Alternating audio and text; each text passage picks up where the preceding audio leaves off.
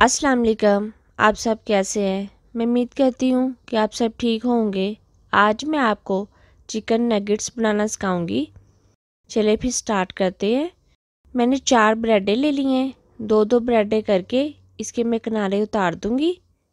चारों ब्रेडों के हम किनारे उतार लेंगे।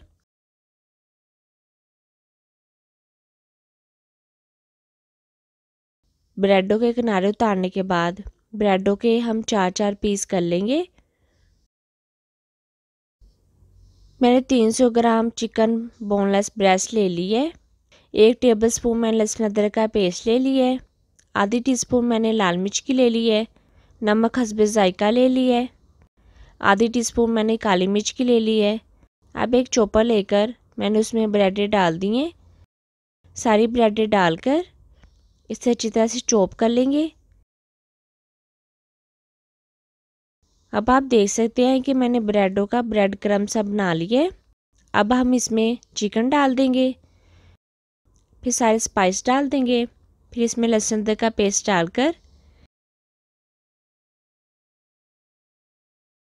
इसे बंद करके अच्छी तरह से चॉप कर लेंगे, ताकि इसमें सारा कुछ चॉप अच्छी तरह से हो जाए, तब तक इसे चॉप करते रहेंगे। अब आप देख सकते हैं कि मैंने इसे अच्छी तरह से चॉप कर लिया है, लेकिन ये स्मूथ नहीं है। इसे स्मूथ करने के लिए हम थोड़ा सा ऑयल लगाकर इसे अच्छी तरह से गूंद लेंगे। तकरीबन दो से तीन मिनट के लिए गूंद लेंगे ऑयल लगाकर। अब आप देख सकते हैं कि मैंने इसे स्मूथ कर लिए स्मूथ करने के बाद हम इसे स्प्रेड कर लेंगे, फैला लेंगे। अगर आप चाहें तो आप बेलने का भी इस्तेमाल कर सकते हैं। उसके बाद हम इसके चौरस पीस कर लेंगे नाइफ़ के साथ। जिस मटेरियल का चौरस पीस नहीं बन रहा, हम इसे साइड के किनारे काट लेंगे, फिर इनकी चौरस पीस कर लेंगे। जो एक्स्ट्रा मटेरियल हमने उतारा है नाइफ़ के साथ हम इसे दोबारा यूज़ करके इसके चौरस पीस बना लेंगे।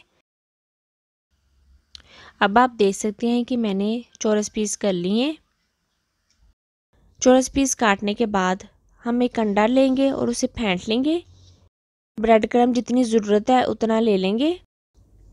एक हम पीस उठाते जाएँगे, अंडे में डिप करके, फिर इसे ब्रेड क्रम में डिप करते जाएँगे, अच्छी तरह से ब्रेड क्रम इसके ऊपर लगाते जाएँगे, फिर इसे एक प्लेट में रखते जाएँगे।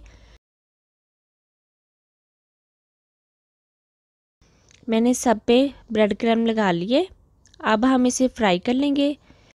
मैंने एक कढ़ाई लेकर उसमें ऑयल डालकर उसे गर्म होने के लिए रख दिया था। ऑयल गर्म हो चुका है। अब हम एक चिकन नगेट्स उठाते जाएँगे और कढ़ाई में डालते जाएँगे। मीडियम से लो आँच पे पकाएँगे। तब तक पकाएँगे जब तक इनका कलर गोल्डन कलर सा ना हो जाए, गोल्डन ब्राउन सा कलर ना हो जाए। वक्फे वक्फे से इनकी साइडें चेंज करते रहेंगे। अब आप देख सकते हैं कि इनका कलर कितना अच्छा सा गोल्डन ब्राउन सा आ गया है। अब हम इसे एक प्लेट में निकाल लेंगे। और बाकी के भी जो बच गए हैं, उन्हें दोबारा फिर ऐसे फ्राई कर लेंगे।